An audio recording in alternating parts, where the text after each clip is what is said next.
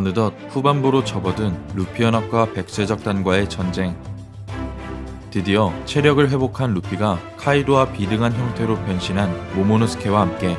다시 한번 오니가시마 옥상으로 올라올 수 있게 된 가운데 그런 루피를 기다리는 야마토와 인수형 카이도와의 치열한 결전 그리고 과거 야마토의 회상이 전개된 이번 원피스 1024화 최신화 내용을 살펴보면 오니가시마 2층 카이도의 부하들이 이내 거품을 내며 쓰러지게 되자 남은 병력들은 누가 폐양색 패기를 발동했는지 찾으려 합니다. 곧이어 우소아치라는 미스터리한 형상의 인물이 등장하게 되고 자신은 토비로포 두 명을 쓰러뜨린 남자이며 내 앞에 서 있는 동안 너희들은 의식을 유지할 수 없을 거라고 이야기하는데 한편 카이도의 부하들은 토비로포를 두 명이나 쓰러뜨렸다는 말에 충격을 받게 되고 이어 거대 악어를 탄 우섭이 등장하며 주의를 끌자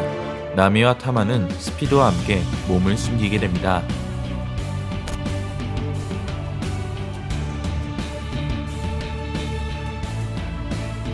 그렇게 잠시 여유가 생긴 나미는 전보벌레를 통해 프랑크와 연락을 취하며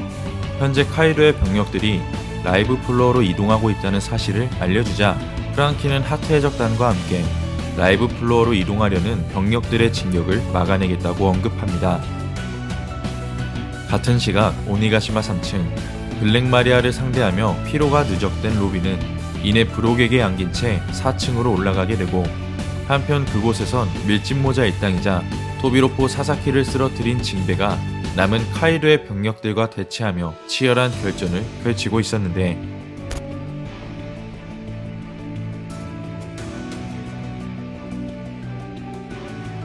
그렇게 징베는 사사키의 부하들과 싸우는 동안 그들의 수장 카이도가 지금도 별다른 움직임이 없다는 것을 알게 되고 이어 라이브 플로어에선 조로와 상디가 사항 최고 간부를 상대하고 있는 동안 카하마츠와 야쿠자 일당들이 남은 카이도의 병력과 대치하게 됩니다. 같은 시각 오니가시마 옥상돔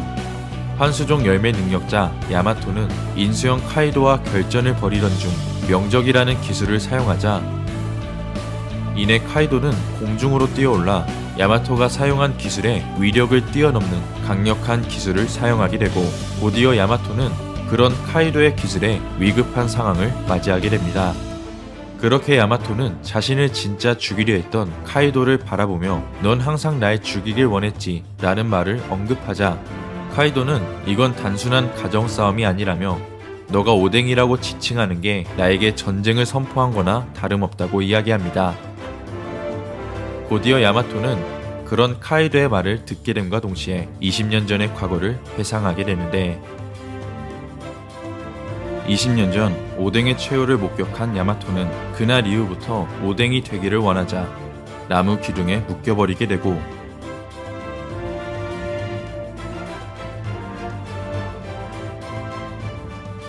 한편 야마토는 그런 극한의 상태에서 무의식적으로 폐양색 패기를 사용해 부하들을 쓰러뜨리자 그 모습을 바라본 카이도는 폐양색에 재능이 있다는 말을 언급하지만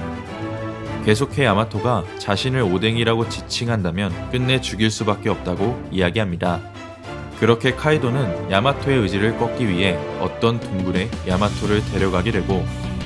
이내 야마토가 울음을 터뜨리자 동굴 안에 있었던 3명의 사무라이가 모습을 드러냅니다. 이어 카이도는 모습을 드러낸 사무라이들을 바라보며 자신에게 굴복한다면 군대의 일원으로 삼아주겠다는 말과 함께 칼과 음식을 남겨두고 동굴을 떠나려 하자 야마토는 카이도의 이름을 부른 채 이곳에서 벗어나게 해달라고 애원하게 됩니다. 한편 카이도는 그럼 더 이상 오뎅이라 지칭하지 않을 거냐라는 말과 함께 동굴에서 빠져나오고 그렇게 혼자가 된 야마토는 세 명의 사무라이를 바라보자 이제 곧 그들이 자신을 죽일 거라 생각하게 되는데 하지만 그중 한 사무라이가 울고 있는 야마토에게 다가와 사무라이는 결코 배고프지 않다는 말과 함께 야마토에게 모든 음식을 건네주자 곧이어 야마토는 사무라이들이 건넨 음식을 먹어치우며 감사함을 느끼게 됩니다.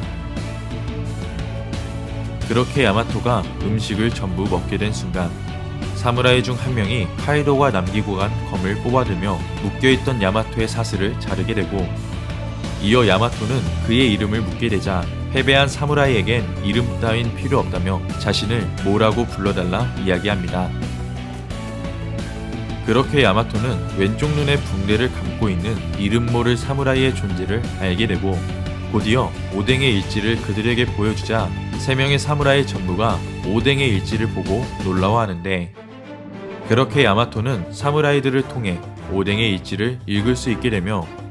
오뎅이 기록한 모든 내용에 흥분하는 모습을 보여주지만 결국 10일 동안 아무것도 먹지 못해 죽음의 위기에 처하자 만약 20년 후까지 살 수 있게 된다면 와노쿠니를 위해 살아갈 거라는 진심과 의지를 드러냅니다.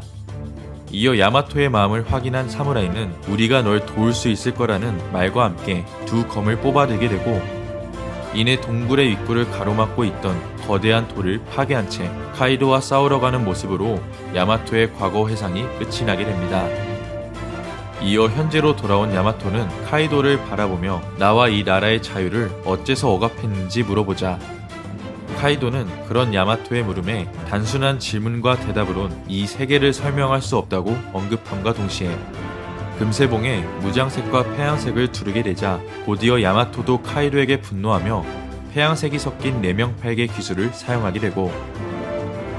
그렇게 세계 최강의 생물 카이도와 그런 카이도를 죽이려는 야마토의 내명팔개 충돌과 함께 이번 원피스 1024화가 끝이 나게 됩니다. 이번화 야마토의 회상에서 나온 사무라이는 효고로의 언급처럼 조로와 비슷한 외모를 가진 것을 보아 링고의 다이묘 시모츠키 우시마루로 볼 수 있고